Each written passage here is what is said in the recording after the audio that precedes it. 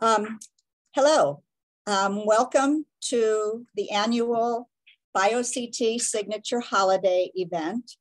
Um, this is the eighth year that we've been doing this, and my name is Dawn Hocevar, President and CEO of BioCT. This very engaging event is normally in person. However, the variant concerns warranted avoiding a large indoor gathering. This year, we are honoring the career of John Soderstrom, whose 20 plus year tenure at Yale's Office of Cooperative Research was instrumental in growing the life science industry we have today. Tonight, we are going to hear from CEOs, developers, VCs, university colleagues, and more, who will share their stories on how John inspired, mentored, encouraged their careers while commercializing many successful companies. Before we begin, I would like to thank our sponsors. Um, this event's event sponsor is Winstanley Enterprises. Our Entrepreneur of the Year award sponsor is Shipman and Goodwin. Our legacy partners are Boehringer Ingelheim, Pfizer, UConn, and Yale.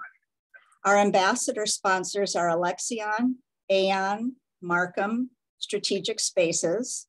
And our supporter sponsors are Connecticut Innovations, Medtronics, Semaphore, Shipman and Goodwin, and Wiggin and Dana. Thank you very much for your sponsorships. We very much appreciate it.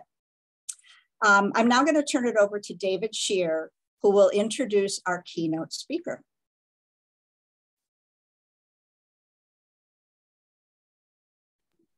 Thank you.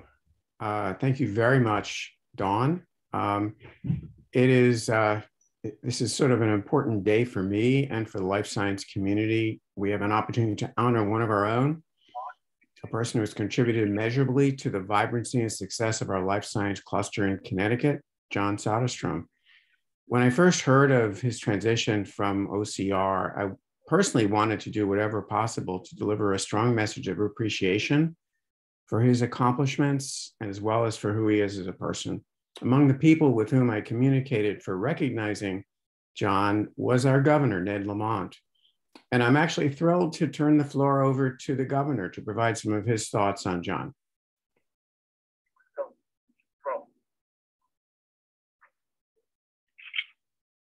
Here's the John Soderstrom in 25 years as head of the Yale Office of Cooperative Research.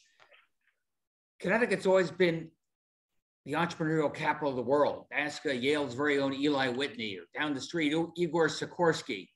And uh, life sciences generating the next generation of innovation. Yale has been a leader there. John has been a leader there. Look, the um, Office of Cooperative Research, 75 Yale spinouts, 2 billion in venture capital, 7 billion in public equity. And more importantly, these are life-saving medicines that are changing people's lives. Look, my friend uh, David Shear gave a big shout out to make sure, John, we remember you on this uh, day, 25 years of serving our state and helping entrepreneurs get going. And I love the idea of your Scholars Fund, helping other young people focus on STEM so they get the best opportunity in life. You're the very best of Connecticut. Thank you. Thank you very much, Governor Lamont, for sharing our excitement regarding John's accomplishments. Um, we will now have a live panel discussion, which is being moderated by David Shear. David has been president of Shear and Company since 1981 with a successful track record of building companies, providing corporate strategic and transactional advisory services. He co-founded and served on the board of Achillion Pharmaceuticals, which was acquired by Alexion in February of 2020. He is chair of the board of Adela Inc., Refactor Health, Revelar Biotherapeutics, and Twist Biosciences. He is also involved with several other private and publicly held companies, serving on many boards, including the BioCT Board of Directors. David continually gives back to industry leading conferences, part of the CT Coronavirus Task Force, the Global Virus Task Force, guest lecturer, and on many advisory committees. Please join me in a warm welcome and thank you to David Shear. Thank you, Dawn. I, I just want to correct one thing. I'm not on the board of Twist, but I am chairman of the board of a Twist spinoff called Revelar Biotherapeutics we recently launched. Um, before I get into uh, the fireside chat, uh, I have something that's a bit off of the agenda, but I think I hope that John Soderstrom, of course, there are a number of Johns today uh, in this meeting. Um, I'm looking at least one another of them, but I, I want to mention as, there's a special little um, sort of thing that I'd like to sort of uh, read for John and about John. And this comes from uh, actually. Ned the governor. Um, it's a special proclamation, John. Um, can you show John Soderstrom's screen? Well, I'm sorry. Yeah, can we see John? I, I want to make should, sure. I, I want to make sure that John. I want to make sure that we get the, the maximum benefit from. Uh, you know, I, I am not going to say his embarrassment, but really just the, the the tribute here. Great. Okay. So, um, this is a uh, something. By the way, it's on its way in hard copy for you, John, which is why I had to uh, mysteriously ask you for your home address yesterday. But um, anyway, uh, this is by His Excellency Ned Lamont, Governor, an official statement. On behalf of the state of Connecticut, I, Ned Lamont, Governor, take great pleasure in congratulating John Soderstrom, PhD, as you are honored by the BioCT for your contributions to the Yale Office of Cooperative Research and to Yale.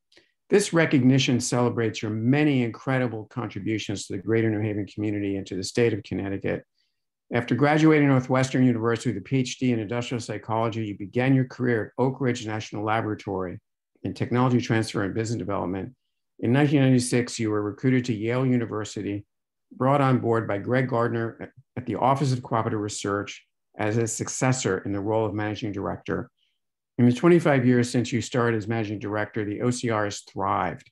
Your impact, impact on Connecticut's bioscience entrepreneurial sector has been incredible. Under your leadership, the OCR has launched dozens of new ventures, a diverse portfolio expanded to include not only bioscience, but also quantum computing, semiconductors, and software. These vast undertakings have driven the creation of thousands of jobs and brought billions of dollars of new investment into Connecticut. Your energy, enthusiasm, and leadership are laudable. This recognition is a tribute to your outstanding professional talent and acumen.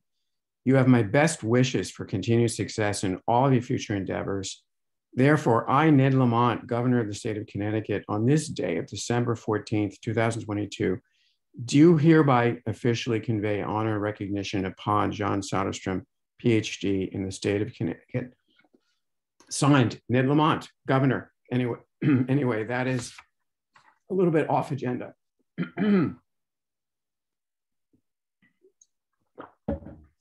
Back to the agenda. we have a fireside chat, John, here. This is not a roast, even though fireside might actually connote heat and maybe, you know, roasting.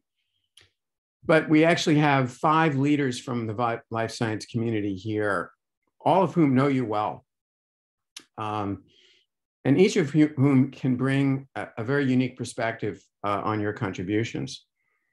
Our panel consists of John Houston, CEO of Arvinas, Amanda Hayward, who's business development lead from Rally Bio and actually a major contributor in life sciences in the state, former colleague of mine as well. Um, Tim Shannon, general partner of Canaan Partners. Uh, John Swartley, associate vice president for research and, and, and executive director for the Penn Center for Innovation, one of your trainees and mentor mentees. Uh, and Sean McKay, the CEO of Isoplexis. Before we get to this, to the comments from this truly distinguished group of speakers, I'd like to briefly share some of my own thoughts. So sorry, John, you're not getting away with without my saying a few extra words about you here.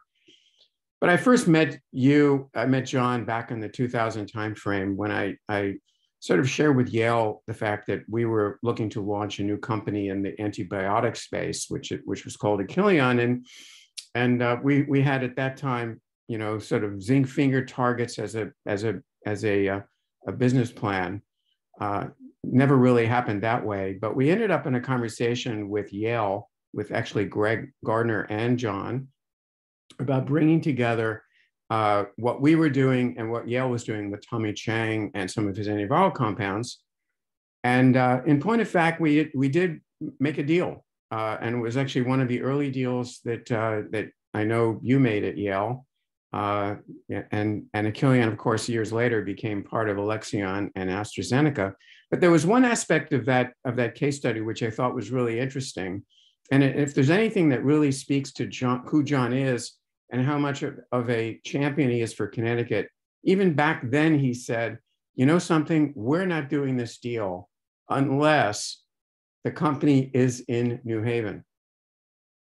It was a it was a deal closing condition. And you know what?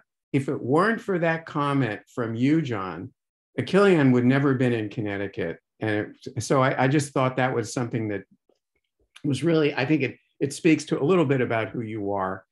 Um, and I, I spent a, a, quite a number of, of, of years and time working with uh, OCR and yourself over the over the uh, uh, you know the, the subsequent years. Launched some other companies, Aptherion, Axerion, which is now ReNetX, doing really well in spinal cord, and, and currently work with two Yale spinouts, other ones, Refactor Health and Thyron. Um, I should say for, for anyone who doesn't know this, although most people do, I mean, I did some benchmarking on on research commercialization offices across the country for work I was doing up in, in Toronto. And, and, I'll tell you that John, John is really one of the most highly recognized people in this field, bar none. And in fact, I think it's also important to say that OCR is really a benchmark for many other offices at major universities around the country. You know, my company building path uh, and it wasn't always wine and roses. And even my relationship with John was not always wine and roses. Um, I found myself during a period of time uh, on the proverbial different wavelength from John. I think I probably was unique in that in that regard. So that was like a um, that was a modest roast there. But anyway, um, I came to realize that it wasn't possible to please everyone all the time, including myself. Having said that, and now we're going to get to something that's a little bit more serious. In 2013, an important event in my life catalyzed a remarkable change in the relationship with John. Our daughter had a near fatal health challenge while she was in college down in Dallas. Miraculously, she survived and currently is thriving as a third year law student. Um, John heard about this and, and, he, and he invited me out to lunch. And we had a dad to dad conversation, which really let me understand a great deal more about who John was as a person, setting aside all of his accomplishments and strengths and talents relative to um, what he's done in, in research commercialization. I learned, and, and the fact that he was an icon in this field, he, I, I learned so much about him as a person. Um, and, and those, those lessons really I, catalyzed a, a, major change in terms of a relationship that has really become a close, a close relationship with him. From then on, we, we cultivated a great friendship, a lot of mutual respect, I found myself turning to you on many occasions, John, when I had problems with deals. These are deals that had nothing to do with Yale, but but everything to do with finding someone who could really give me uh, a sense of great wisdom and insight. Um, and you always came through, and I'm sure you always will come through in the future with with that common sense and how to reach a path to closure. Um, I, have I've also jokingly, or not so jokingly, often referred to you as my rabbi. God knows how that could really be the case, right? But but it turns out on some level that that's really the, the conversations that we have had and the conversation we had in 2013 really were almost spiritual.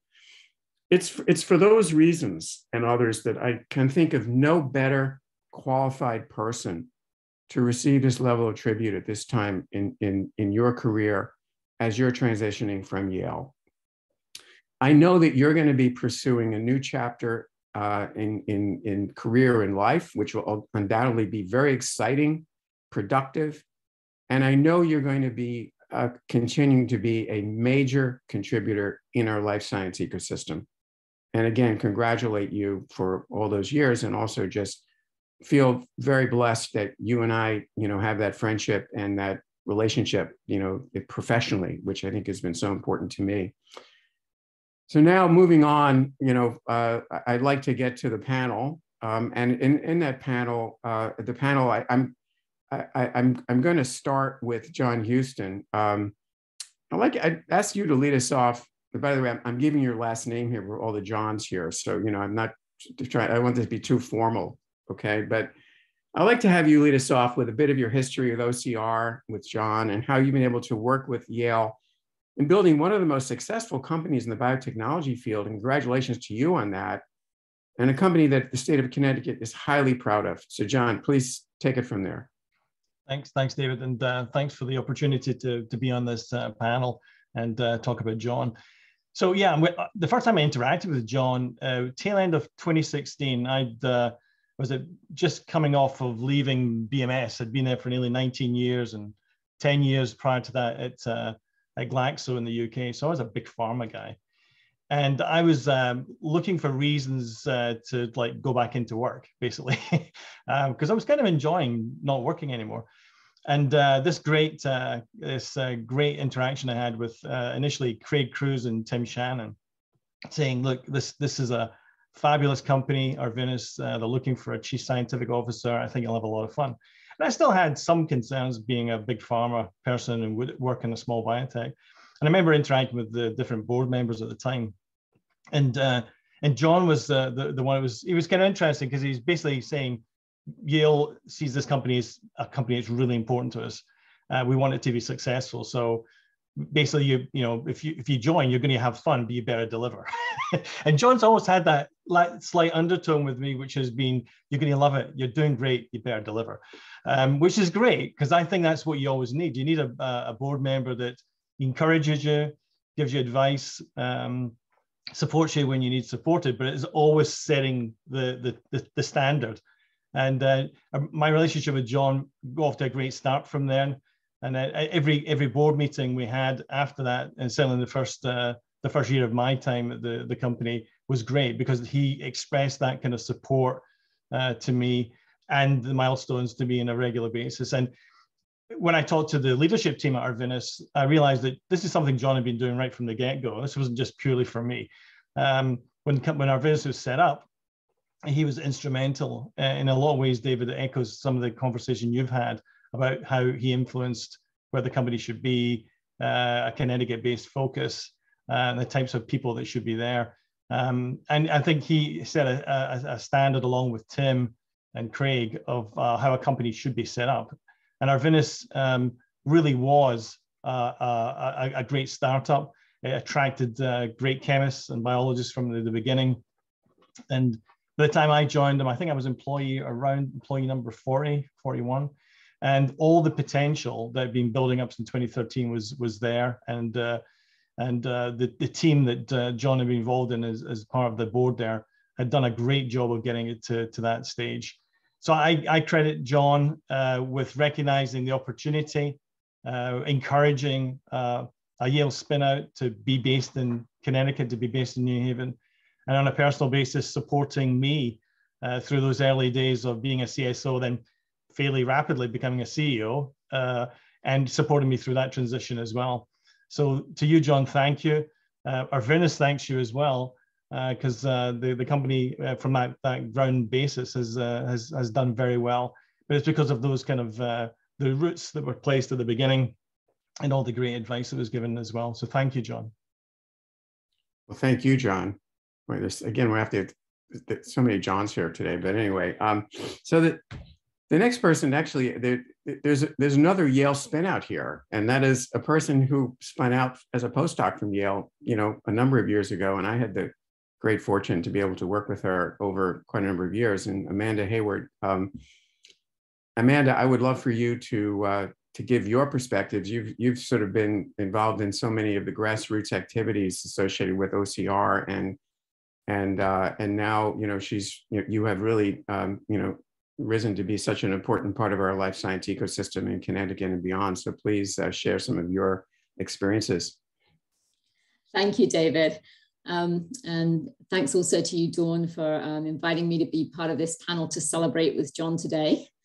Um, John, it's good to see you. Um, so first I want to start out by saying that I have been lucky enough to know and work with John for now over 20 years, um, which, is, which is saying something. Um, as David mentioned, ever since I left my postdoctoral position at Yale and went to join David at Shear and Company, and uh, Yale was one of the first universities I got to interact with um, in that role. And at that time, I knew absolutely nothing about intellectual property or tech transfer or licensing. Um, and it was a really a good place to uh, to gain that understanding working with you, John. And um, you've been a, actually a fantastic professional mentor and were a fantastic professional mentor for me at that time as I learned the business. And one thing that really jumped out for me was when I went to um, do similar kinds of work with other universities. Um, and I really realized the difference between the way that you'd sort of set up your organization and your team and the way that other um, universities were, were approaching um, academic licensing. And um, really what jumps out is, is the way that you and Yale sort of enable partnership um, and really that interaction between the university, founders, management team, and investors, and sort of enabling entrepreneurship across the board and really finding um, creative ways to move technologies forward. And, and um, that's not the same everywhere, and, and definitely was something that I learned a lot about working with you at Yale. So since those early years, um, I've had a, a, number of different um, business development and venture capital roles um, with, with a number of organizations. And with every single one of those roles, I've, I've gotten to work with John um, and had very constructive professional relationships. Um, Yale and John's office is always sort of one of the first go-to places for me when I'm going to, to sort of look for new and interesting entrepreneurial opportunities and, and technologies that could really make a difference. Um, so that's the professional side. I, I also want to just um, say a few things on, on the personal side. So um, during my 20 year uh, sort of career on the business side, and as I tra transition between these different roles, John's actually been a, a very generous um, personal mentor for me, which is much appreciated um, and a great sounding board, never too busy to take a call or a meeting or breakfast at Christie's. Um, and and um, beyond personal advice, uh, also has made um, his network uh, very much available and made a lot of great connections for me. Um, and that's um, and has always been very kind. So so on the personal side as well as the professional side, I've really appreciated my relationship with you, John, over the years. So perhaps one other thing just to touch on is, is John's um, sort of professional style, um, very no nonsense approach to uh, negotiations, um, really enabling a path forward in any deal. And you always know exactly where you are with John in real time. And that isn't always comfortable, especially when you're on the other side of the table. Um, but what it does enable is, is for one to get through sort of roadblocks and, and really get the deal done. Um, and I will also say, John, that you and your team have always been willing to find creative ways uh, to, to sort of get through those roadblocks, creative solutions that enable companies to continue even in difficult times. Um, and maybe just one example I'll give, and I won't give any names, um, but a company that um, I was involved in founding more than 10 years ago. Was a spin out from Yale. Um, so we were at a particularly difficult time. Um, we were having a hard time raising money. We'd had a setback with a major partnership. We had a couple of um, members of our senior leadership team that had, had departed. Um, and, and you know, we were, we were in a tough place. And we had some really significant financial obligations to Yale through licensing, sponsored research, consulting. And it was it was really important. It was really important. John was able to to really sort of cut through the the issues and um, make some very significant concessions and changes to the contract so we could keep the company going. That technology is now in the clinic. Um, it is offering real promise to patients with a, a major unmet need. And I would say with, without your partnership, John, and Yale's partnership, that company would have gone under and, and you know, that technology would not have been available to patients today. Um, so I think I'll stop here um, and just say that, John, you've really been a visionary um, for technology licensing and company creation at Yale, and it has been my privilege to work with you. Mute myself here. Thank you, Amanda. I, I, should say that um, if you ever have any real questions about how to interact with John, what I would recommend a book. There's a book called Swedishness. It's actually very, very. It's it's a very. Um, it's a short book, but it tells you everything you need to know. Anyway, let's we'll move on to the next the next speaker here. the, the next speaker is uh, someone that I know I interacted with years ago when he was at Yale, John Swartley. Um, and, uh, and John, uh, you know, comes to us to sort of talk to us about what was it like to work for John? What is it? What was it like to be a mentee of John's? I hope you'll come up with a story that's going to be most embarrassing because I promised John there was going to be no embarrassment here, but I, I, and he doesn't like surprises as well, but I'm just going to surprise him with the fact that maybe there's a surprise that you might be able to share with us. But, but I, I to your credit, John Swartley, though, I mean, you, you, uh, you've had a, a pretty amazing career of your own, you know, now leading uh, one of the other, uh, you know, very uh, successful and really the leading, one of the leading uh, research commercialization offices in the country. So congratulations to you on, on where you have arrived. Uh, but I'd love, we'd love to hear a bit about your experience with John from those years at Yale. Well, that's great. Uh, thank you very much, Dave, David, and thank you, Dawn, for, for the kind invite to, today. Um, where, where to start? I, I actually think John might might have appreciated a roast. And maybe we can redo this at some, some point with uh, with some embarrassing stories. But I, will probably I'll, I'll stick to the high road for, for today. I think. Um, and and by the way, those of you who know me um, know how how how much I hate putting on a, a necktie. So this is a really a, this is a, a, very strong symbol of my respect for you, John, that I that I, that I put on the the, form, the formal garment. Um, I joined OC, I, I, am I am in one of one of the older alums of of, of OCR, um, and, and, my my tenure goes back to the to the mid mid '90s. Um, and you know, I was thinking about you know what what I wanted to say today, and I I, I joined I joined OCR. I, I, met Greg Gardner and I met John Soderstrom, um, and I, I I really you know was leaving the laboratory at that time. Um, you know, after a you know, reasonably successful academic career, had to make a decision whether I was going to stick in academia or, or move into uh, in, into the, the, the space between academia and, and the industrial sector. And I, I was really I, I, was sold on OCR because of what Greg and John were trying to do. First of all, the name o, OCR it was like the weirdest name out there um, for tech transfer. Everyone else was TTO or tech transfer, and this this thing was OCR? Like, what, what does that even mean? And, and what are we supposed to,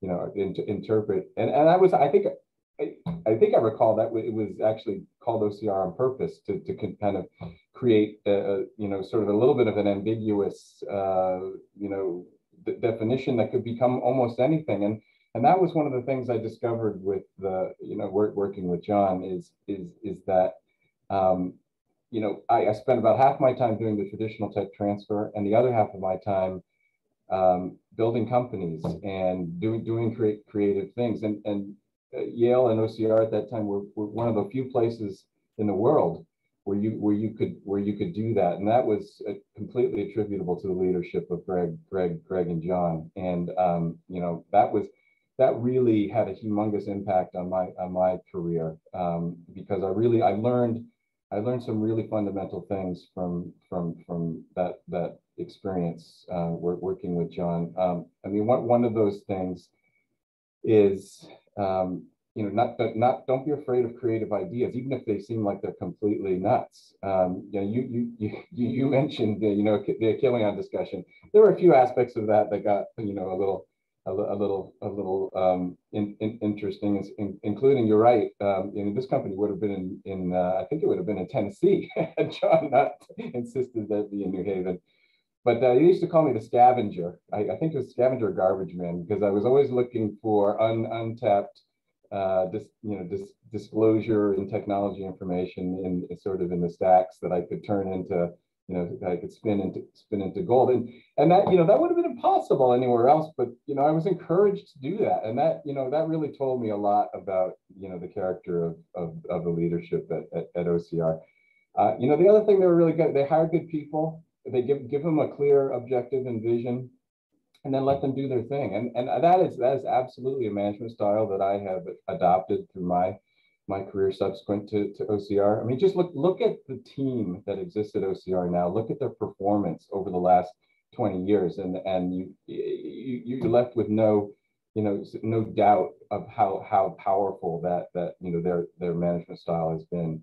Um, the other thing that was really interesting about OCR, um, and, and, was one of the earliest examples of this, was Eh, you know a lot, a lot of the other offices focused on sort of the Bayh-Dole side of things, the administrative component, to file the patents and you know and and you know try try to license sell them, you know, kind of as is to to to the private sector. OCR wasn't about that. OCR was was more about I we want to understand our partner. We want to figure out what makes you know the the the industrial side of things um, in, interested in, in in what we're what we're doing and, vice, and vice versa. So there was a lot of you know a lot of study. You know one thing that I noticed you know John did a lot of he, he studied he's and they weren't adversaries they're partners he studied he studied the uh, you know sort of the, the the other side he wanted to understand them we did things really early on, like go out to the JP Morgan conference, for example. We were the first academic institution there for a long time. And the reason was, you know, it was it was because of that, you know, wanting to be um, you know, a part, a true partner to really understand the the needs and and the and the motives of of uh, you know of of the the, the counterparties. And I, I I've I've adopted all all, of these. I've, I I was saying earlier, I, I shamelessly steal all good ideas, and and a lot of what I'm now doing at Penn is direct is a direct lineage from things I learned from from John and Greg at uh, at, at OCR. So I'm you know incredibly grateful for that. But I I'm actually probably even more grateful for one one very specific thing. Um, and I, I, did, I did want to mention this, that, and I can't even recall exactly when we had this conversation, but at, at some point, John had, uh, you know, basically took me aside and, and and had a had a had a conversation with me, which is has been it, has been a really important conversation for me, you know, over the last two, two, two decades plus. And I think, as you all know, I mean, John cre created one of the most productive, you know, tech transfer organizations of all time. He is the leading voice in our industry, has been for many, many, many years. But one thing that you would never you would never miss if you spent any time with John is he never failed to emphasize the overarching importance of his family and faith. And you know, and when this when we had this conversation, what one of the things that John wanted me to understand was was at least the, the importance for him of work-life balance. And and and he he, communicated that in a, in a really in a really elegant way. Um, and, and, and, and it had to do with you know, the ability to do a good day's work, to be proud of that work, but then to separate yourself from it and devote your full time and attention to your family and non-work non-work um, interests and pursuits. And, I was probably too young to really appreciate that. It might have even been pre-kids when we had that conversation. But over time, I've really, I've really revisited that and really understood what, what that means. You know, he, was talking about, you know, some roles in you know some career paths are better than others at, at allowing you to achieve that work-life balance. And, and, i think the other thing that he, he told me was you might give up some aspects um, of you know uh, of a potential career pursuit such as you know pure monetary returns but what you gain in return is worth far more. And i think i think that's there's a truth to that that i have that i have discovered uh, over over the years. And i am greatly appreciative of John for, for sharing that with me. So thank you, John. Thank you for being such a great mentor, colleague, and, and friend, and congratulations. Well, thank you, John Swartley. That that's a great it was a great tribute, um, and I and I really so much resonate to some of the observations you've made as well, that John. So the next the next uh, speaker here is a legend in his own right. Um, you know, as a venture capitalist, but also had early in his career as a um, uh, as a, an entrepreneur and executive in, in, biotech. And I can think of no more important person, uh, you know, other than John, perhaps in, in, the life science, Connecticut life science community, uh, than Tim Shannon for all that he has done in his career in bringing companies forward and providing them capital and beyond that, even providing them, you know, so, so much in the way of experience and leadership. So, so Tim, I know what you wanted to do today was to not necessarily regale us with all of the companies that you've built with John, but rather I think you you would like to help us understand what the impacts have been more broadly in terms of our ecosystem. So, Tim, why don't you take it from here? Yeah, thanks, David. Uh, can everyone hear me? Yes. Okay, great. Yeah, so, um, you know, first, you know, just David, thanks, and Dawn, and, and thanks to committee for giving me this opportunity to speak at this uh, great event um, uh, where we honor John. Uh, you know, I couldn't be uh, happier uh, for that chance. Uh, as David, as you mentioned, you know, we've done a lot of companies together and um, had some great success and a lot of fun doing that. But really what I wanted to do is talk a little bit more about some of the adjacent things that, that John has built into the community, really you know, to support that ecosystem, uh, make it thrive, and, and frankly, make it durable. Um, you know, because what he is is built will endure. And and you know, part of what I want to talk about is, is you know some of the people side of that, and um, and frankly, you know, some of that starts to starts right with OCR, you know, which we've mentioned today, and the and the people there. So you know, as a leader, you know, a testament to leadership is being able to you know uh, attract and retain great people. And I think, you know, I, I scanned through who's on the call. I think all of us have had, you know, tons of interaction with, with the group John's is been able to um, bring in and, and, and to lead. And I think, you know, some of the things I'm going to mention, you know, are testament to John's leadership and that group as a whole, um, really, and what they've contributed to the uh, community. So, you know, when I, when I think about these things, I, you know, I think about the things that, that I've been pulled into because of my relationship with OCR and with John, you know, that, and where I've been able to help uh, uh, in their efforts. And, you know, many of those things, again, are, again, about trying to really make the community, the community grow and, and endure and providing you know opportunities for uh, entrepreneurs to do what they do, but also to train the next generation of entrepreneurs. And you know the events I think of that many of us are participating in are things like Pitch Fest, um, you know, which is is grown enormously, and where I think many of us have been able to be involved and be judges. And that is sort of morphed into now a bit of a feeder for uh, the Blavatnik Fund uh, uh, system and, and the program, uh, where you know, again, faculty and entrepreneurs are able to sort of refine their their pitches and their business plan through Pitch Fest and then through some, uh, you know, pre-work leading into the Blavatnik Fund and to be able to compete for funds, um, you know, to help advance their their work, um, you know, to points where they're, you know, in a better position to create a company or um, to license their technology out. So just, you know, those two programs alone, I think have probably increased the entrepreneurs or faculty entrepreneurs or student entrepreneurs, you know, at Yale, you know, in the order of hundreds, um, you know, in a very short period of time. And, and having been involved with a lot of those programs from, from the start, um, you know, and had the chance to participate in year over year, again, the progression and the quality of the technologies and the plans around those technologies and how you know, faculty and students and, and fellows are able to represent those is just, you know, a fantastic testament to, to John and his group.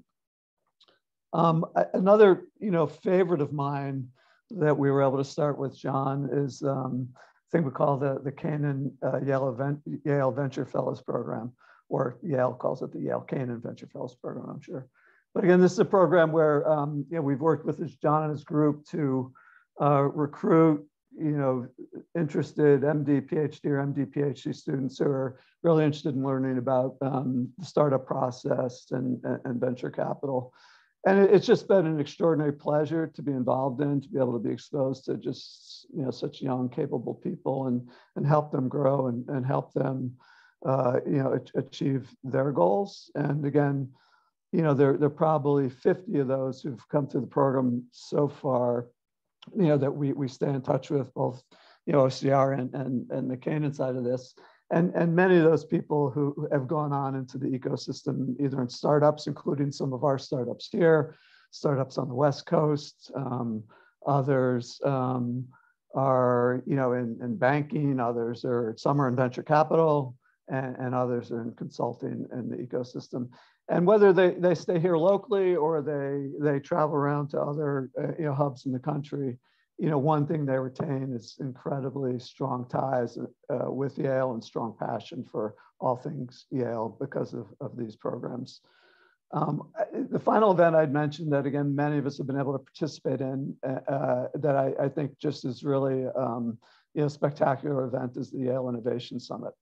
Um, so again, this is you know a relatively new event. Um, you know, held at the School Business you know, obviously much more interesting when we can do it in person than with Zoom, but you know, it's just an event that lets Yale showcase itself to a, a very broad audience, you know, bringing in thousands of participants from outside, you know, the New Haven and Connecticut community, um, you know, really talking about global and, and national issues in regards to innovation and entrepreneurship, but in doing it in a way where, you know, John's really has a beautiful way to showcase Yale and, and what Yale's delivering. Um, you know, to the ecosystem. And again, this is just an event that is really expand, you know, the, the world's window into, into what Yale can provide. Um, now, another part I want to talk about is, is just about New Haven itself and, and, and John's commitment, not only to help Yale, but to help the, the New Haven community of, of, of which we're part. Um, this is, you know, I think an issue we uh, you know, almost immediately hit it off on. Um, you know, I'm sure some of you are bored with my stories, but uh, my family started on Howard Avenue in the Hill, and uh, I went to grammar school at, at Sacred Heart on, on, Columbus Avenue. So, you know, New Haven is is is uh, near and dear to me, and um, you know, a big part of my my experience. Um, you know, but the, the economic development aspects of this are staggering. So I think David or the governor mentioned the aggregate number of, of dollars that John and his group have brought into, um, into the area. I can just say that just Canaan alone now has exceeded a quarter of a billion dollars of investment uh, in Connecticut. And I don't have the exact breakout, but I would imagine at least 90% of that is, is Yale companies in and around New Haven. So just, you know, a, a spectacular number. Um, and it's a spectacular testament to John and, and frankly, a, a great opportunity um, for Canaan. But you know, beyond that money, I think you know John's always been interested in opportunities, you know, for the people of New Haven and, and the community, um, you know, that we share with the people of New Haven. Um, and in that respect, when you're starting a company with John, in addition to you know the master and, and deal doing, he also on the side is is a major real estate broker.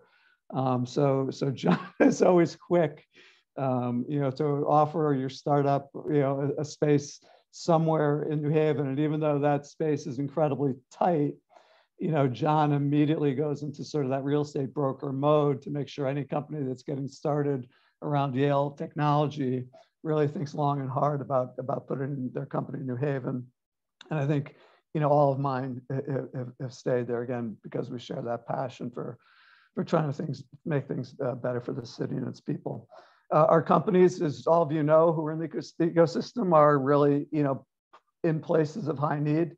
So, you know, our companies in, in Science Park, you know, are, are adjacent to, to Newhallville, um, and the companies, um, you know, closer to the medical school are obviously, you know, adjacent between downtown and the hill section. So, you know, the hope there is, is some of the benefits of those companies and things those companies need become uh, business opportunities for people in the community. And if you, you go to Science Park or um, you know go to the companies downtown near the medical school, you'll see you know companies that are spawned, service organizations that are spawned, and housing that's created that again uh, makes these a better place uh, for all of us uh, to live. Uh, I think the other thing we focused on is, um, you know, the Yale students are phenomenal, um, but there, there are other people in our communities who aren't Yale students where you know, we, we've looked for ways to try to bring them into to our ecosystem, um, uh, into our lab-based companies in particular. Uh, so again, we've, you know, with John's support and with a number of other people committed to this in the ecosystem, we've, we do a lot of outreach to the universities where there really is an enrichment for students from the New Haven area. So the, the local places, so UNH, Gateway, Southern, uh, Albertus. And we go into those again with the goal of, of trying to, you know, create opportunities, close by for those students in their communities, you know, where they can uh, start their careers. Um, one of my current companies, you know, we, we've had a great time with this. Uh, it's a company called Halda, and we've developed an entity within Halda called uh, Halda U. And, um, and this is to denote that, um, you know, we've had a wonderful time recruiting interns uh, from many of those schools I've just mentioned. And uh, these are, you know, students graduating with some element of, of scientific skills and, and, laboratory skills. And yeah, we bring them in and, and put them through a, a training program. And almost all those uh, students have evolved into full-time roles in our startups. And yeah, they pr pr provide a great resource for us but you know, the young people really get stoked to have that that sort of opportunity, you know, at, at a company, um, you know, right right in the location, uh, you know, where they where, where they were raised and grew up and educated. Um, I, you know, I think the one thing we've struggled with, and, and this would be the, the final thing I say is, you know, in those efforts, we haven't had as much luck uh, recruiting um, young people who are underrepresented in our industry uh, and uh, you know who are in those neighborhoods where we, we live and work. And I think you know this has been um, you know not despite effort, but you know you know continues to be a, a shortfall for the industry overall, uh, but certainly continues to be an issue for us. Um, you know here in New Haven. Uh, you know, these are complicated issues and they've existed for a long time. And um, so the solutions obviously aren't easy, but uh, we, we need to try to do a better job, you know, getting uh, people who are underrepresented in our industry into our uh, industry. You know, I, I think while a complicated problem, I think part of it is simple and, and part of it is, is giving those young people the chance to aspire to do what we do and to have the confidence and the courage, you know, to dedicate the early part of their life to, you know, the education and the commitment you need to be ready to take on uh, these endeavors. Uh, and, you know, as I mentioned, I, I went to Sacred Heart uh, in the Hill, and, and three years later, I went to high school at, at Hopkins, um, you know, which was a, a, totally different environment, yet within, within the same town. And, you know, one, the contrast to me was striking in terms of, you know, the aspirations at a place like Hopkins were, you know, over the top, um, you know, frankly, to the point of being precocious and they weren't only expectations or aspirations they were expectations and actually you know backed by results and that was in quite contrast to you know what i experienced in, in the sacred heart uh, experience uh, in the hill and while that that's dated now unfortunately i, don't think it is so dated um, you know i don't think that the, that difference in uh, aspirations and expectations uh, has really changed in a positive way um, you know, over the last few decades. If anything, it, it may be a, a, bit more of a problem. And I, I, think that's really a tragedy. So you know, I think that uh, remains a, a, big need and something we all need to commit to try to change. So I think it's it's incredibly fitting that the the Soderstrom Fund, Scholars Fund, you know, represents a great capstone to John's legacy. You know, trying to bridge this gap in aspirations and really, you know, trying to create those those those great opportunities for those underrepresented kids in, in these neighborhoods, you know, really to give them a chance to, to get on the fast track into these careers, you know, we've all been able to um, have a wonderful, you know, experience with. Um, but they need to be more accessible and they need they need to be accessible to the, the people who who live around us. And uh, I look forward to working with John and the group of people who are going to be doing the work around this fund, you know, to provide that mentorship and leadership to try to make a change in that regard. So John, congratulations on this, this honor. Um, personally, it's been an honor for me to know and, and work with you over the years, and uh, I look for more of that in the years to come. Thanks. Well, Tim, that's that was a great, some great comments. Really appreciate those. I'm sure John does as well. Last but not least is someone that I, I hear about all the time, but I don't think he and I have actually had much of anything to do with each other yet. But this is an opportunity to meet him, so that was great. Sean Mackay, who's like the CEO of Isoplexis. And this is another example of a successful uh, endeavor of John's in terms of the launch of a Yale, a Yale company that has really made an important contribution and is represents something that I know the state is extremely proud of. So Sean, please take it from here. Thanks, David. Nice to meet you. I'm sure we'll be in touch after too. It's been a busy year. The uh, um, yeah, John. John has been. I've interacted with John since like 2012 or 2013 or so. Um, I think couple themes that are that resonate with me, and I th- I think the the overarching thing is like John and I, OCR as a reflection of John because I think a lot of orgs tend to be a reflection of their leader one way or the other. Ends up being this. Uh, I think it's a for us it was a very entrepreneurial environment, and I think John's a very entrepreneurial person and I think, but I and I think there's like deep roots there. And I I don't know, John, you've told me stories and about your parents and like all these things about you know logistical entrepreneurship and things. So I think that there's like there's deep roots there. But I think it's evident in you know two two aspects of it. There's this there's this for us.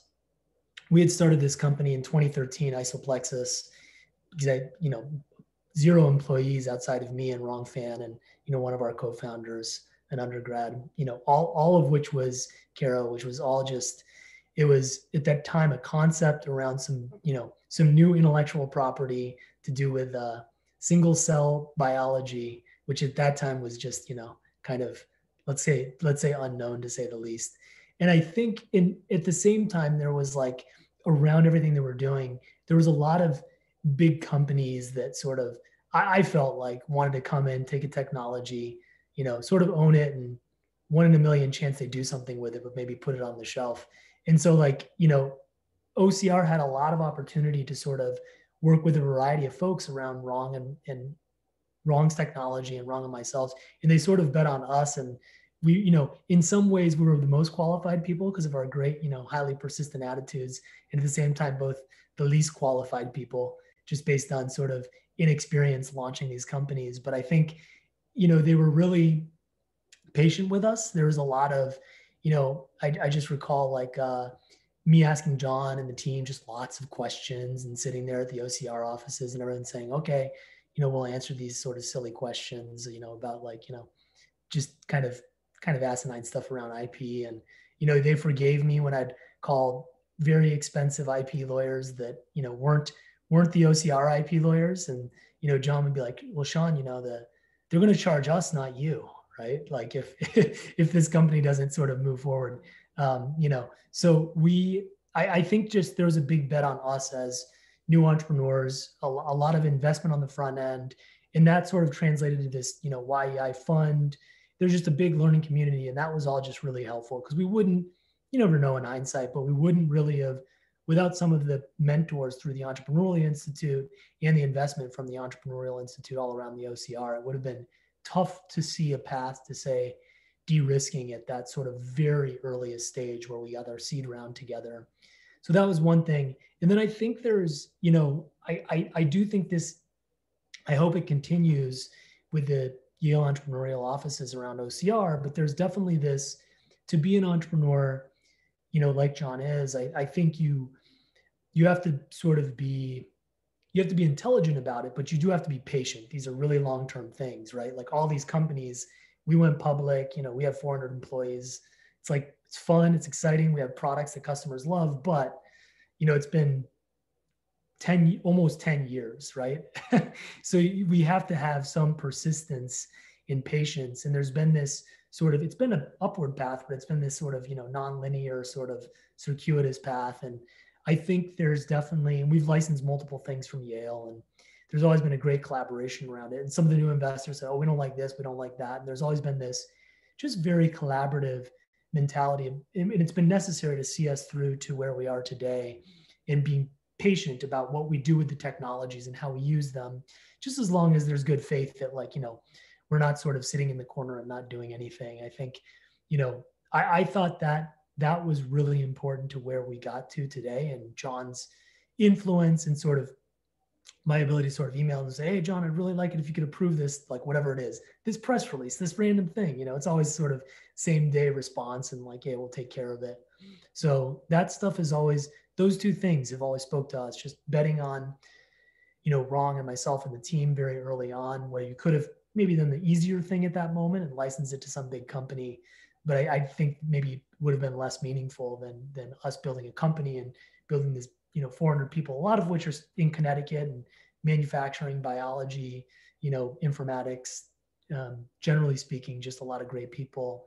And then i think just thinking long term about it because you know our plan is keep cranking along, right? Like stay here, keep growing. We have big growth plans. We've sort of announced those growth plans, and I think that's just fun. And I think I think that there's because of the ecosystem you guys have built out of Yale and Yale OCR, there's um, plenty of programs and um, other companies in the ecosystem. You know, they they always mention in Silicon Valley, it's like you know steve jobs and all these people mentioned this beehive where you can actually it's okay to take risk on companies because you can jump to the next company if this one doesn't work there is like this around here right and it's like really cool because so many talented people are going between these you know 20 companies in the last few years or whatever that have been public that can share knowledge and sort of collaborate and then you know other companies as potentially they get acquired you know we all get the benefits of like uh, some of those employees as well. So it's a really cool ecosystem. It wouldn't have been possible without John's mindset at OCR. And we, we, you know, we wouldn't have been possible in our current iteration uh, without that. I'm sure the technology at some point, you know, would have been successful, but this, this Isoplexis company really benefited from that. So those are, that's my contribution. And John, just really appreciate everything you've done for us as a company and us as a community for the last, you know, uh, quite a while in building this sort of ecosystem around Connecticut and Yale.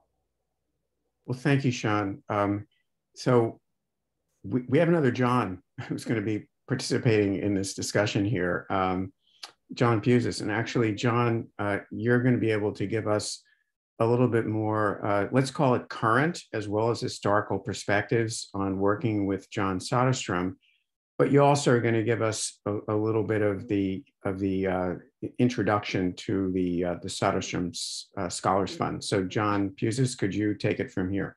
Um, I'm sorry, David. Um, we're going to show some uh, some videos at the moment. okay. come back to John.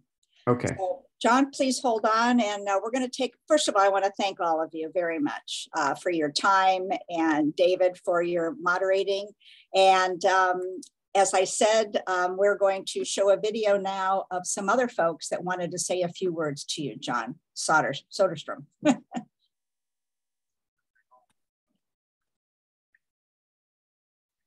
Hi, I'm Robert Beanstock, Senior Associate General Counsel at Yale for Research and Technology. So that makes me John Soderstrom's lawyer. And I've had the privilege of watching him up close, behind doors, in public, for 15 amazing years. You know, when I arrived at my interview in 2006, they had me interview only one client, and that was John Soderstrom. And it was an interview unlike anything I'd ever been on. He was just overflowing with ideas, energy, expertise about technology transfer at Yale, regionally, nationally. It, it, was an amazing conversation. We went well over time and it cinched the deal for me. I was here a couple of months later working by his side, helping him to implement everything that he's brought forward here from um, new, new license structures that line the interests of, of the university and, and startup companies. Um, working with, with the private sector to develop tear sheet contracts to get licenses to startups more quickly. I watched him build the Yale Entrepreneurial Institute, bringing in entrepreneurs in, in residence and changing the culture about entrepreneurship at Yale. I've watched him break down town gown barriers to start building a, a regional biotech hub. Um, if there's any, if there's any one thing that defines the way John approached his, his role, it was to bring together people from different sectors to make a, a whole that's greater than the sum of its parts. And it's been fun. Negotiating with John, I've never had a better negotiating partner. He sees the forests and the trees. He, gets in there, talks to the other side, listens, and brainstorms ideas to get to win win and getting a deal done. John, it has been a great ride. In, in addition to being a true leader, You've been a partner, you've been a friend. I can't wait to see what you do next. All the best to you. I'm delighted to participate in um, in celebrating John Soderstrom's great contributions. And um, I would like to talk about one that's perhaps less heralded today, and that's his work in the Renaissance of New Haven which from my perspective in the Office of New Haven State Affairs at Yale was, of course, very important. And uh, when I came to uh, Yale, um, we developed certain themes around which we had hoped to do our work. And one of the important ones was economic development. And that was to strengthen New Haven with respect to the creation of taxes, tax revenues for the city, and, and jobs for the citizens of New Haven. And this, of course, involved um, tech transfer and startup companies. And Yale in those days um, did not have nearly the kind of activity to support entrepreneurial activity as it does today. It's almost hard to imagine uh, two decades ago um, how far we still needed to come. And uh, the one person who recognized uh, the potential impact of uh, work and economic development on Yale's efforts to strengthen its host community was John Soderstrom. He was a great partner uh, to me in that regard. Uh, we had many successful ventures.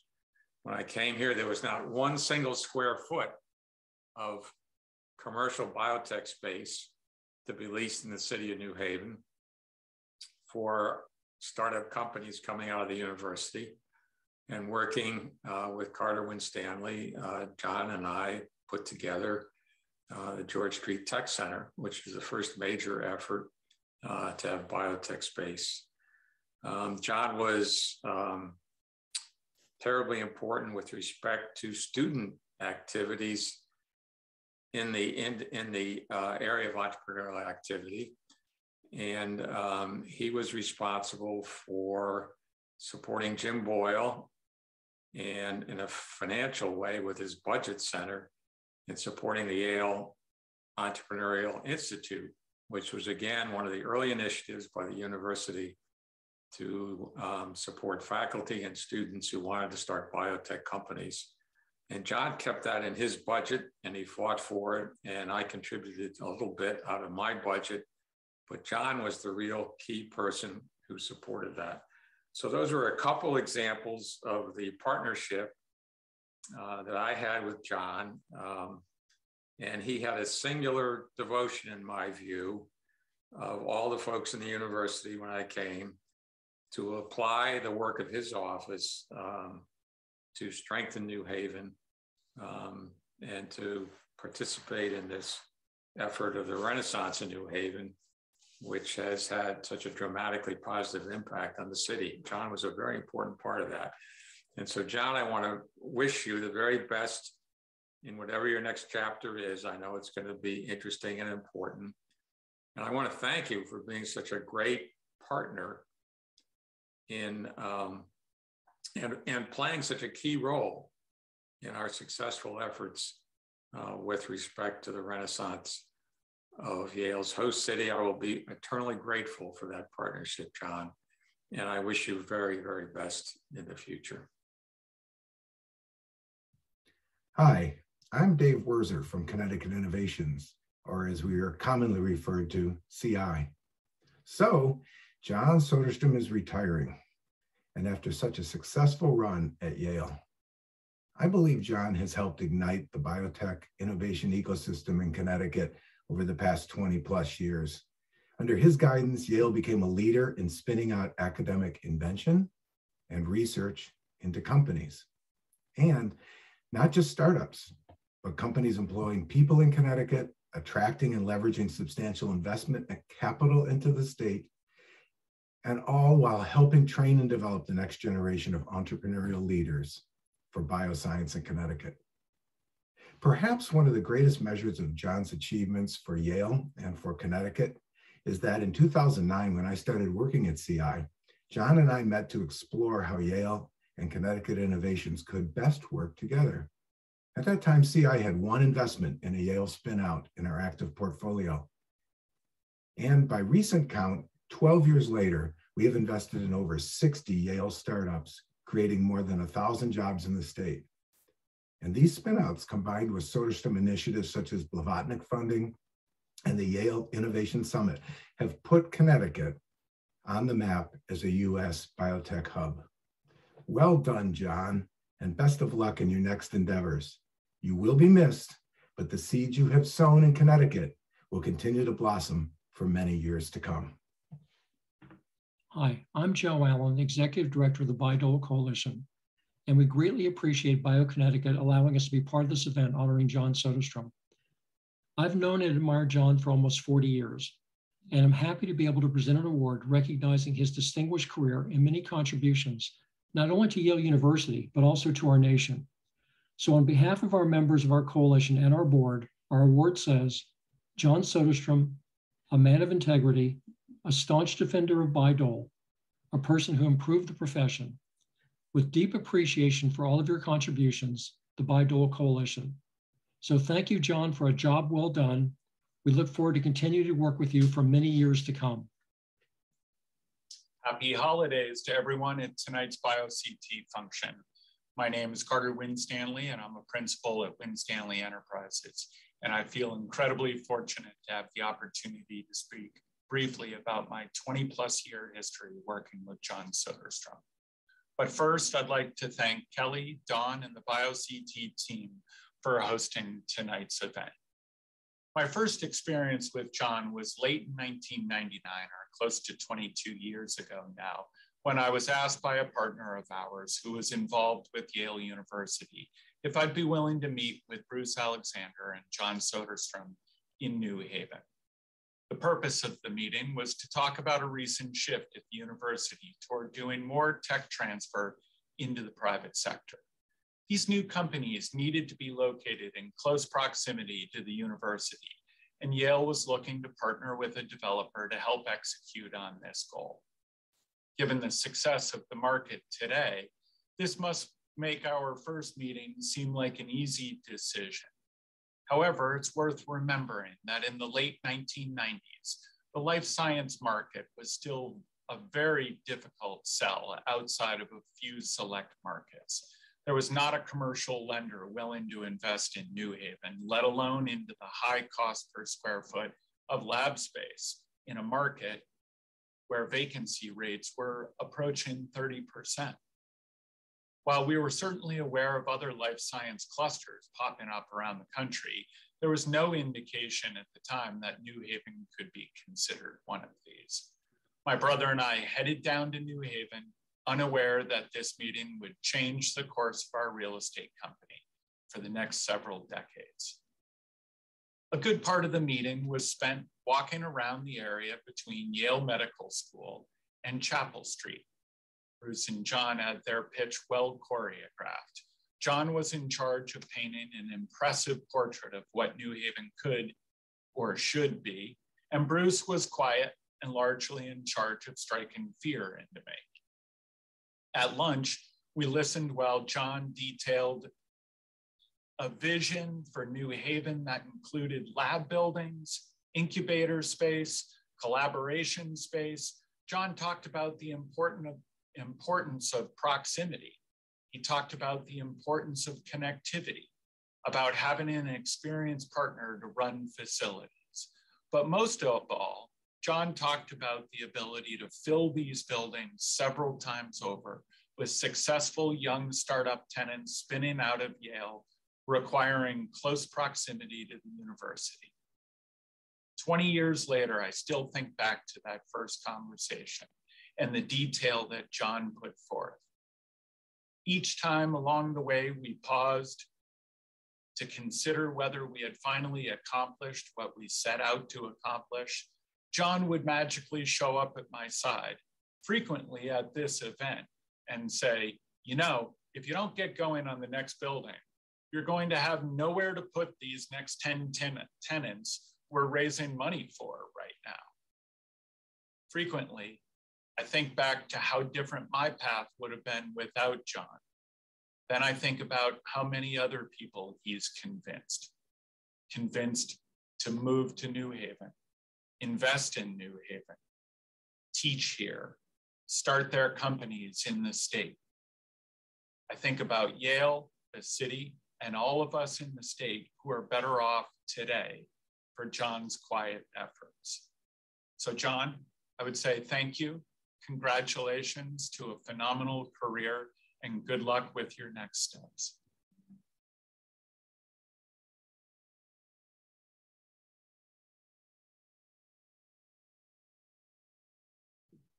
Dawn, you're on mute. Okay, I unmuted myself.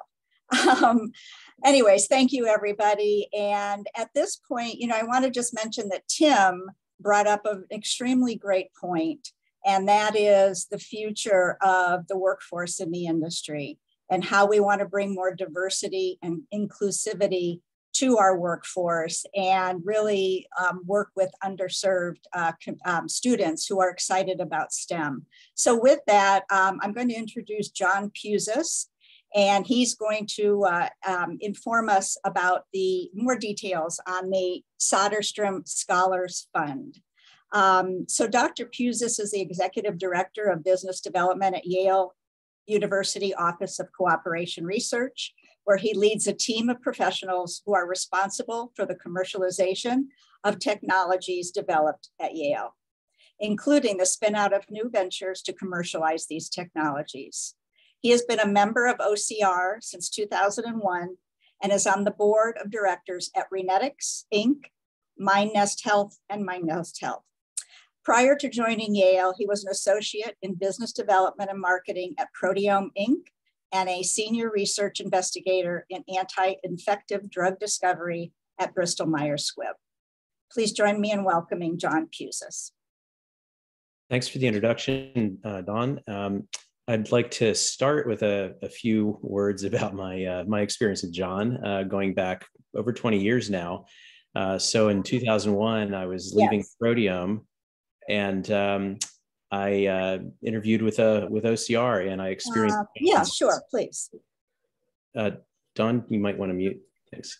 Um, so yeah, so I, I, at that point I interviewed with OCR and I experienced uh, John's uh, pressure interview style firsthand. And uh, after that, I thought uh, for sure that I had blown it, but lo and behold, John decided to hire me, and I've been at Yale uh, close to 21 years now. Um, along, we've had a great run along the way. Uh, John has not only been my boss, but also an incredible mentor. Uh, it wasn't always easy. Uh, we we shared a number of ups and downs. There was uh, certainly some yelling. Uh, there was also a lot of laughter and a, and and some triumphs uh, along the way um, with John and the whole OCR team. so I want to thank you, John, from the bottom of my heart for your mentorship, your guidance, and your friendship. as a way of honoring you and your career, I'm pleased to announce the launch of the Soderstrom Scholars Fund, this will provide uh, college scholarship funds for underprivileged Connecticut high school students who are interested in STEM careers, uh, and this will allow them to attend college in Connecticut. It will also connect these scholars to experienced mentors in the Connecticut bioscience community. Uh, the fund's initially going to be under the auspices of BioCT. Uh, Wiggin and Dana is helping us to establish a framework for the fund. Uh, the board of directors will include David Shear, myself, and John Soderstrom. Uh, thus far, we've raised $104,000 thanks to the efforts of David Shear. Uh, and I'd like to thank the Blavatnik Family Foundation, Arvinas, Biohaven, Winstanley Enterprises, Kevin Rakin on behalf of HighCape Capital, Tim Shannon on behalf of Canaan Partners, Pfizer, Wiggin and Dana, Ed Cronin on behalf of Aon, Rally Bio, Elm Street Ventures, Connecticut Innovations, David Shear, Craig Crews, and Boehringer Ingelheim. And so without further ado, uh, it gives me great pleasure to introduce our man of the hour, John Soderstrom.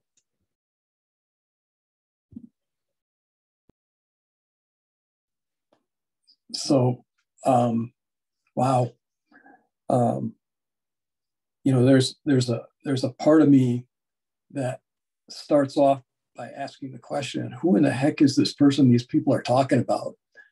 Um, you know, sometimes it's, it's really hard to recognize. But um,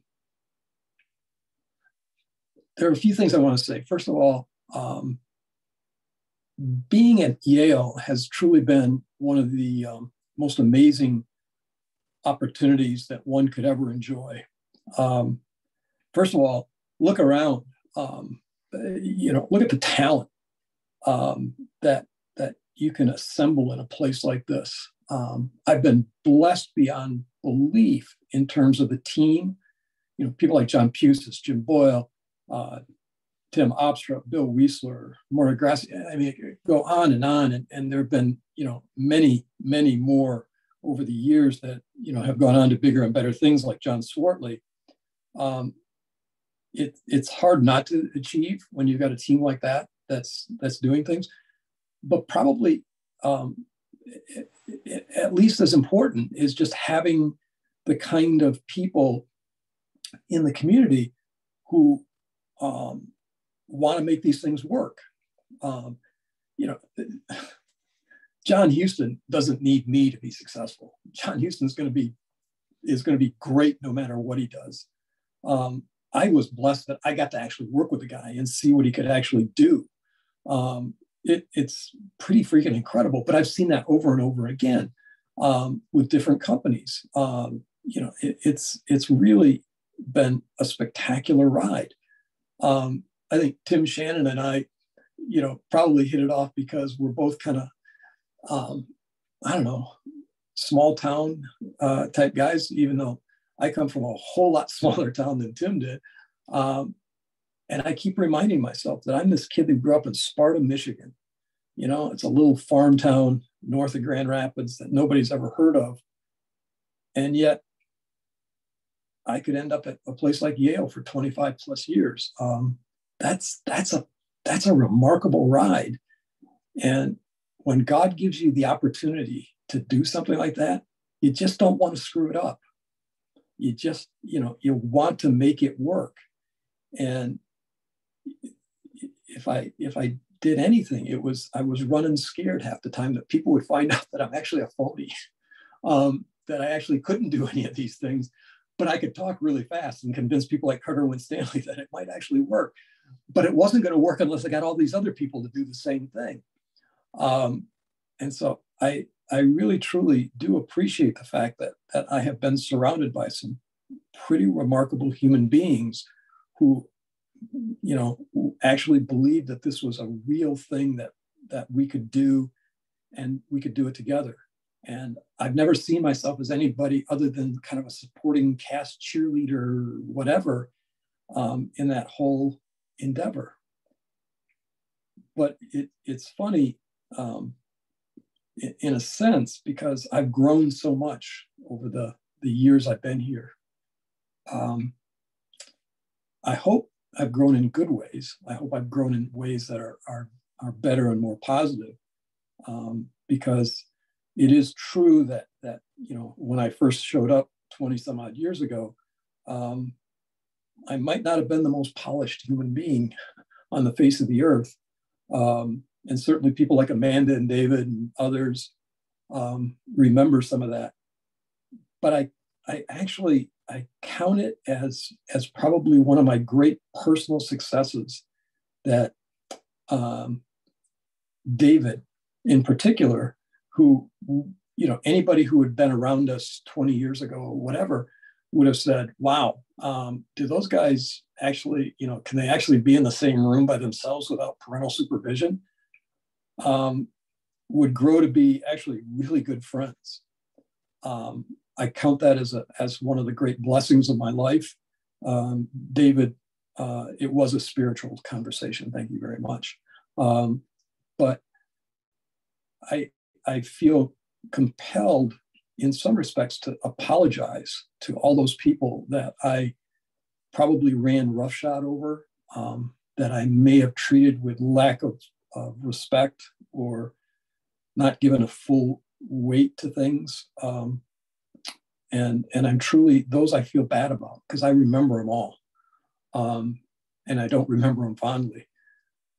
I am you know i am truly um, i am truly blessed to have this event um, to have people say these kinds of things because actually in the back of my mind i know who i am and i, I remember a lot of the things i did wrong along the way. Um, and probably we succeeded in spite of of that. But it's been it's been a ride. It's been it's been an amazing ride, and and I have you know made so many friends along the way. Um, professional colleagues, sure, but I actually count most all of the people that that um, are as actually friends. People that you know um, I wanted to know about their family life. I wanted to know you know where we could do things. Um, John Swartley, I probably didn't always practice what I preached as well as I should. So to my own family, um, you know, I kind of have to apologize to them to not giving them, you know, the full weight of my attention. Um, and and that I'm sorry, that's that's getting really personal. But you know, there've been some times when, you know, people would question was work more important than family. And um, in all honesty, I probably put work first, and that was not right. Um, but I have been blessed with a family that has been supporting me all the way along. Um, I must have been doing something right because my daughter Carrie is working at Biohaven, and before that was in Arvinas. So, you know, that apple didn't fall too far from the tree. And, you know, in in all, you know, confession is that you know a lot of the stuff in terms of building the economy of New Haven was so that my kids would have a job in this area, so that I could be close to my grandkids, and that worked.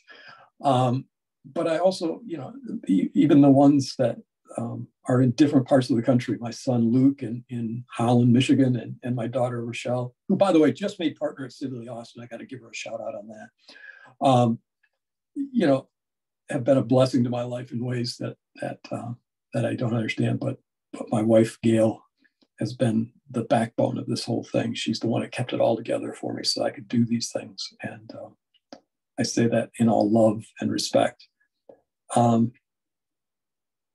I can't think of anything that would be more fitting than the idea of creating the scholarship um, for students, uh, um, local students that um, want to get a STEM career.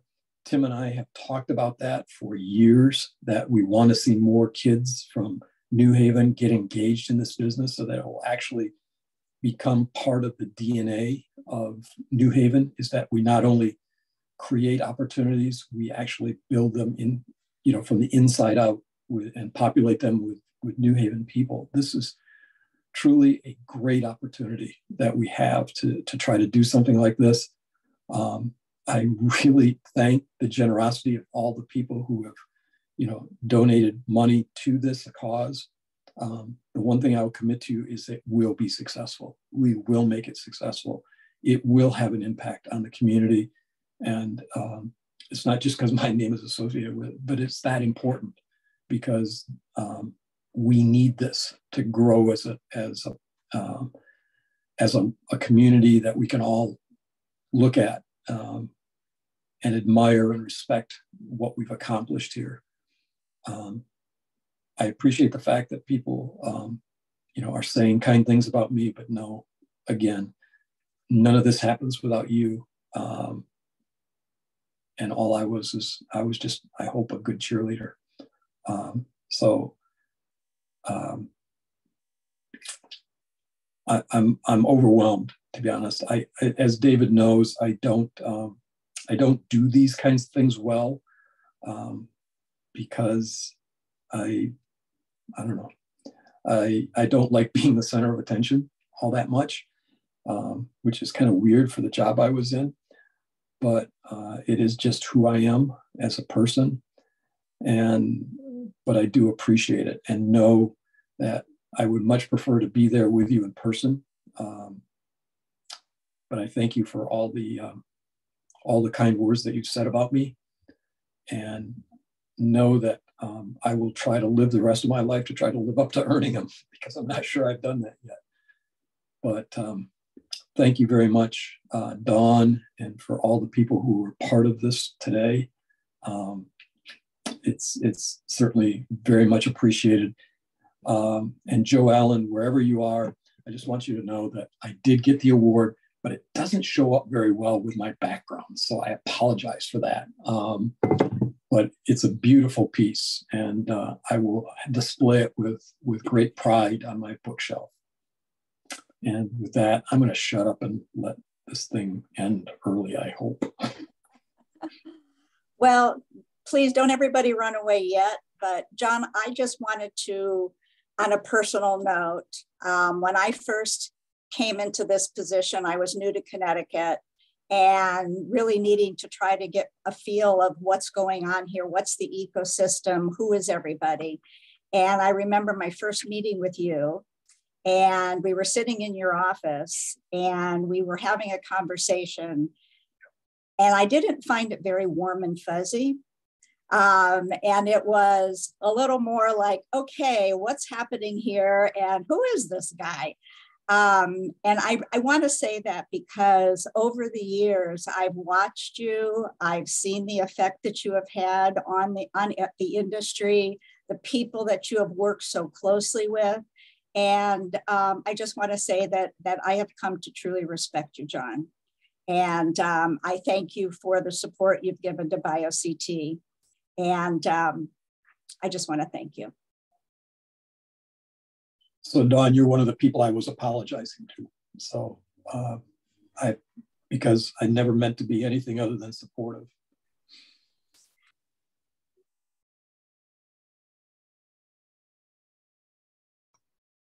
You, you muted again, Dawn. John, I just want to say, um, no worries. I'll take you up on dinner and drinks. So thank you. Um, so with that, and again, this, this has been lovely. And for the folks that are still here with us, I wanted to take a few moments because normally during the uh, BioCT holiday, holiday celebration, um, we mention or talk about the Entrepreneur of the Year. So that is something that's very important for us in the community and did not want to omit that this year.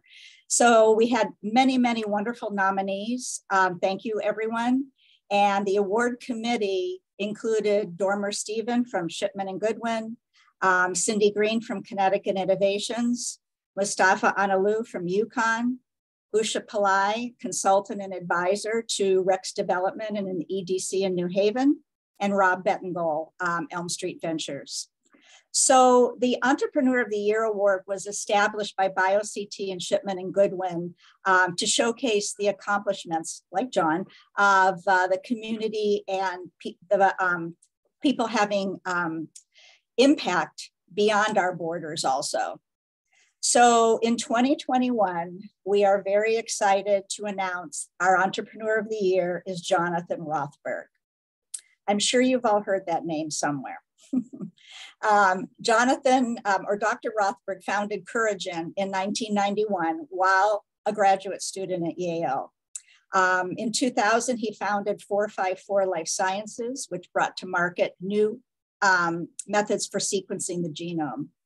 Dr. Rothberg went on to invent the semiconductor chip-based sequencing and to found such diverse companies as Ion Torrent, Clarify, Raindance Technologies, AI, Quantum-Si, Hyperfine, Detect, and Butterfly Network. In 2021 alone, he took three of his companies public Butterfly Network, the developer of the world's first ultrasound on a chip, Quantum-Si, which expands the frontier of protein sequencing, and Hyperfine, the creator of the world's first portable MRI. And that in itself blows my mind because I've had several MRIs myself on a, that, that's tremendous. Um, and also new this year, because it was a hard thing to, to uh, choose, we wanted to also recognize the um, folks that are that are maybe newer, um, they're younger, they're establishing themselves, and you know, we wanted to acknowledge exceptional startups at any age and experience and impact with life in the ecosystem here in Connecticut and beyond. So with that, our first Rising Entrepreneur of the Year award goes to Nicole Wagner, who is the president and CEO of LambdaVision. And they are, that is a UConn based startup company that is developing a protein-based artificial retina.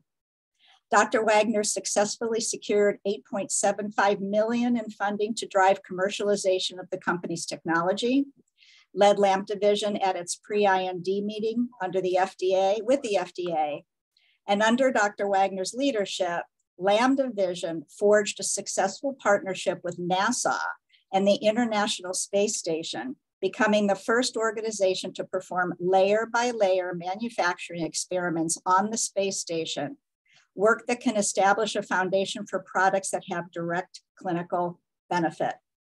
Talk about beyond.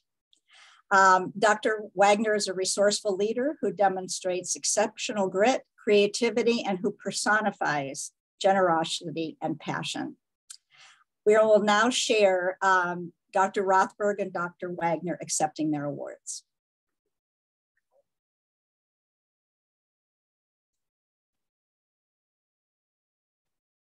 It is a privilege to be recognized by BioCT as Entrepreneur of the Year, especially in Connecticut, a state that was the home of so many great inventors.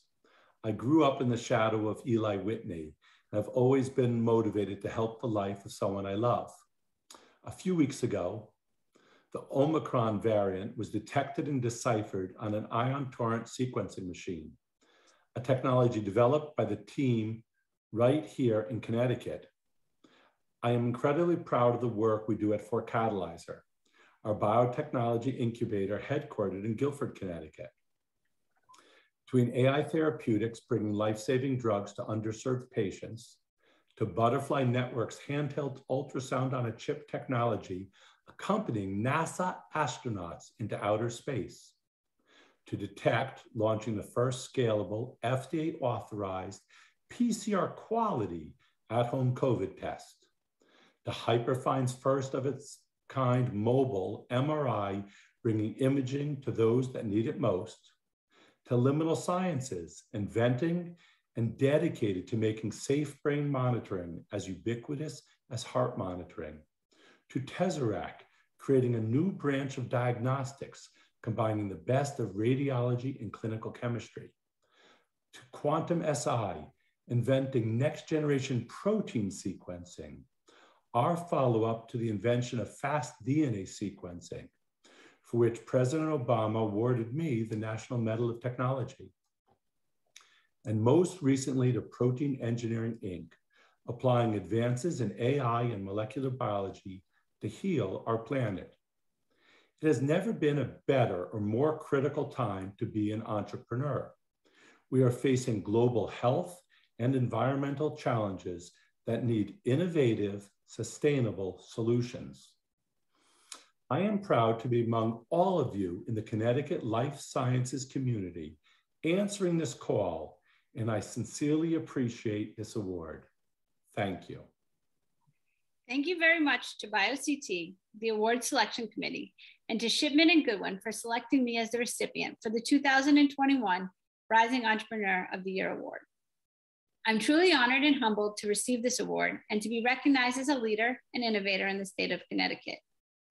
I also want to take this opportunity to thank my colleagues at LambdaVision for their hard work and dedication as we develop our protein-based artificial retina for patients blinded by end-stage retinal degenerative diseases like retinitis pigmentosa and macular degeneration.